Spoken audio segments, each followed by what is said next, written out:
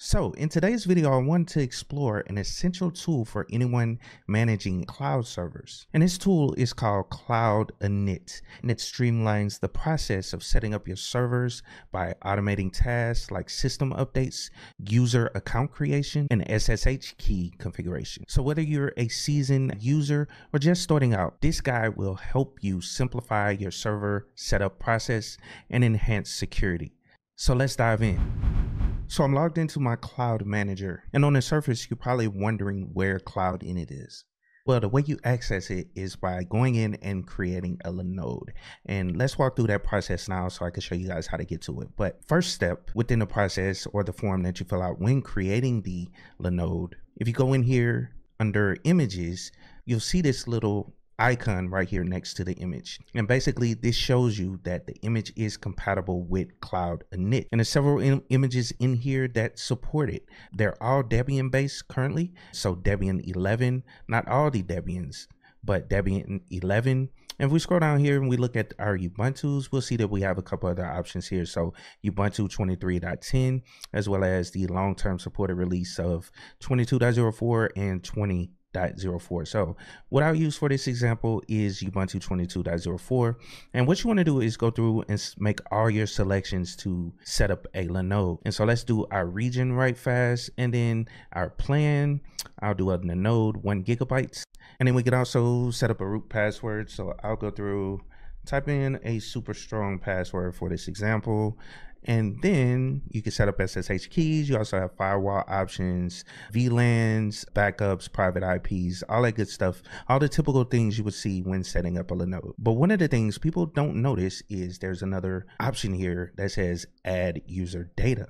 Well, this is where you put your cloud init configuration files and not the actual files, but the information within those files and it's written in the YAML format. And I went ahead and wrote out a few examples just to show you guys how this all works. And all you have to do is put this information within the user data and then the cloud manager see that you have some user data here and it will make those changes to your server right after it's provisioned. So let me switch over to my text editor so I can walk you guys through the examples that I wrote out. And then what I'll do is copy that text and then drop it in here. And then we'll run through and create the node. And then we can verify that all the changes were made to the virtual machine as it's being built within the platform. So let's switch over right fast. All right. So like I stated, I already created the configuration file for us. And like I said, it's in that YAML formatting language. If you guys need help with that, there's a lot of resources online that can teach you how to write in the YAML language. It's not that difficult, but with Cloud Init, you have a whole bunch of options that you can write out that will handle certain things when the server is booted up.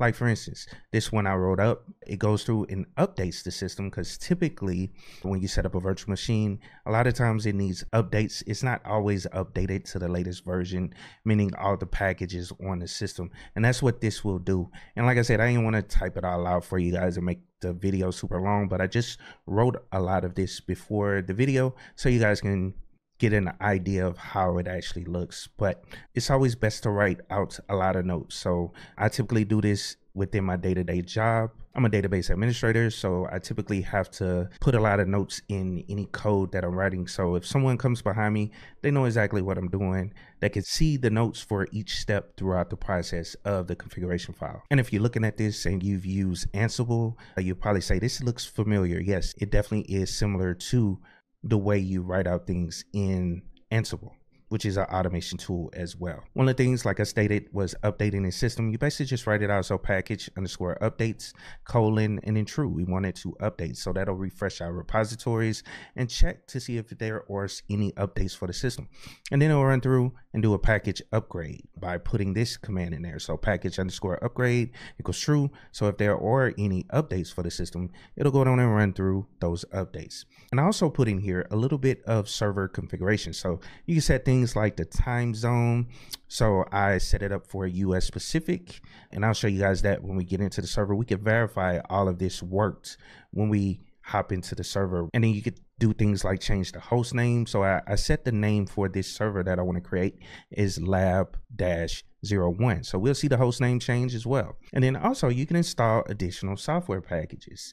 And all you have to do is type package and then colon and then list out the packages. And then YAML, it's a little bit different. You don't want to use tabs, you use spaces in most cases. So just type it out exactly the way you see it on all the examples that you'll find online. And you can also check Linode's website for examples as well. They put examples out there as well on how to do things. So I said, well, let's set up a web server for this configuration. So that's why I put Apache in there, MySQL server, as well as PHP, which is essentially the LAMP stack. So I put those options in there. So those additional pieces of software will be installed once we create our node.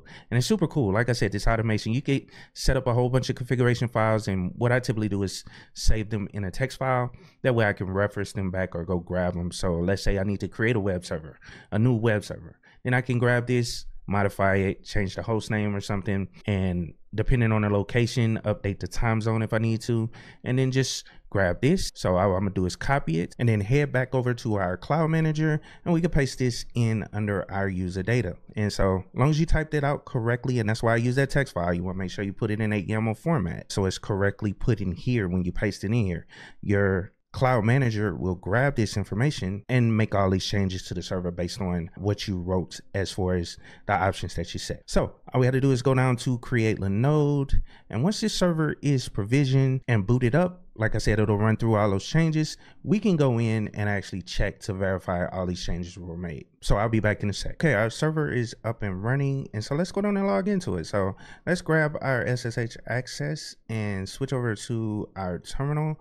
And let's go in and check that all of our changes were made to the server. So let's go down and press enter. It'll add the fingerprint just like any other time your first time logging into a server. Press enter, type in our super strong password that we created and press enter they'll log into our new system. And right off, we can tell that our changes took because the host name has changed. As you can see right there, it says lab-01. That's specifically what we put in that configuration file for the server to do. So it, it changed the host name of the system. So let's run some other commands. Since we're logged in as root, we don't have to use sudo. So let's type apt updates and press enter. It'll run through, check for updates. And as you can see, all packages are up to date. So that looks like that part of our cloud config script actually ran as well. Now, a couple other things we could check. We could type time date CTL. If you guys never heard of that command, but that basically shows us our time zone and we can grep out our actual time zone. It, it shows us the time of the system, but it's timedatectl and I'll grep out our time zone and we're just looking for a specific text in there. That's what grep does is search for specific text. If you need help, just look for other videos on our channel that has information on how to use a lot of these Linux commands, but just typing them out quickly. But timedatectl, and then we're grepping for time zone just to check the time zone. As you can see, we are in US Pacific, which is PST, so we're good to go. And then one other thing we did in our configuration file was install some applications. So we could type apt list and then we could check for all installed packages and let's press enter it's a very long list it's kind of hard to go through this way but i just wanted to at least show you another way but we could check the status of these applications as well so for one i know we install php so let's check for that and verify that that's installed. And as you can see, PHP is installed. And then Apache is, and let's look for a MySQL server because I know that is installed. So it installed all the dependencies and, you know, MySQL got it set up and running. And then the third package we put in there will be up at the top. So Apache 2, yep. And we have Apache 2 installed and it's updated, all that good stuff. So let's go down here and also we could just check the status of everything because most of the time with Apache, it go on and install it, start the service, and enable it. So each time you reboot the server, it will have Apache running. So we could type systemctl and then status, check our status, and then Apache 2. And let's press enter, and I'll check the service of Apache. And as you can see, it's active, running, and enabled up here. And then we can also check uh, MySQL. That's another one to check. So MySQL, I tap it out, press enter. That's active, running. So we get to go with all our packages. They have been installed using our cloud init. All right, so let me show you guys another config that I wrote out. Let's go down and exit out of this server. And then let's go back over to our cloud manager and remove this virtual machine. So I'm gonna just go in here, delete it, grab the name of it, drop it in there, hit delete. That will delete that Linode for us. And let's go through and create another one.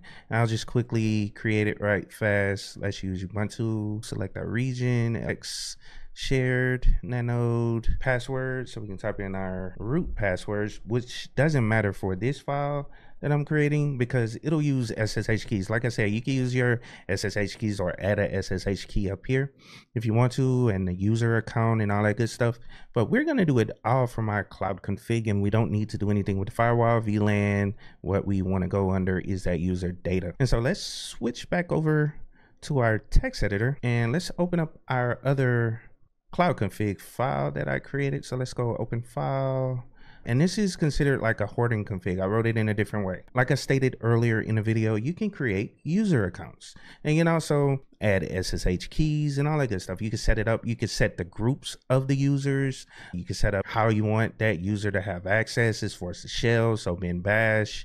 This is my SSH key, my public SSH key, which is what you want to put in here. You never want to put your private. You always want to put your public. And I'm also going to run a update of the system as well. We're going to configure that time zone. I basically added on to our base configuration by creating a user account. So that stuff is still there. And then what one thing I did was I went in and hardening SSH. This is one cool feature, you know, you want to use Cloud Init for. So as soon as you bring up the server, it'll go down and set our SSH configurations to where it won't allow root login at all on the server. And then also I said, well, let's just use the same packages. We could install, you know, something different. You just want to verify that you're typing in properly, but you can get all those packages installed Let's go down and uh, copy this. And like I said, I didn't want to go through typing everything because it'll make the video like super long. But let's go back over to our cloud manager and then we can paste that in there right fast. And then let's go through and create our Linode. Oh, and one other option I forgot to show you guys. I named the host name for this lab 2. So you'll see lab 02 in there. So let's go down and hit create Linode. That's really the only cha other change I made in there other than add, adding the SSH keys and all that good stuff. And so once this provision, I'll go down and log into it I'll show you guys how to log into it right fast. All right, so our server is up and running. It didn't take too long. Let's go down and copy our SSH access command and then switch back over to our terminal and let's clear just so you guys know that we're logging into a different server and we need to make changes to it. Well, actually, let's try it with root right fast. Just show you guys. It will not allow root access. It should have made those changes. So we're going to type in our password that I know we set correctly and it should say permissions denied because it won't allow root login yeah and as you can see permission denied please try again. So i'm gonna hit control c that'll get us back to the terminal. And what we need to type instead of that is our new user account. This is a way of verifying it that it actually works. And i'm logging in from the system that those ssh keys apply to. They apply to my system. These are my personal ssh keys for specific cloud servers and that's my public key that i put in our configuration file. So should work right off. So SSH Josh, I don't have to specify the key. It's gonna unlock the key. I think I have a password on it. Yeah, the private key. So uh, you can type in whatever password you set for your private key. If you have a passphrase set on your key, type that in. It automatically logs in. As you can see by the name is Josh and then lab. So our system is somewhat hardened. We could have done a little bit more but I just wanted to show you guys a base configuration file. I didn't want to go too complex, but, and then of course I'm only showing it to you. There are plenty of examples out there of how to actually use it, but I'm not going to go through and do all those checks again. Pretty much if this worked, that means everything else worked. It, sh it shouldn't have ran into any issues unless I made a grammar error, which I tested this before this video and I didn't. I checked everything just to verify. So it all worked. And that concludes our guide on using Cloud Init for automating server configurations and security. And I've covered everything from creating your cloud config file to deploying a instance with ease.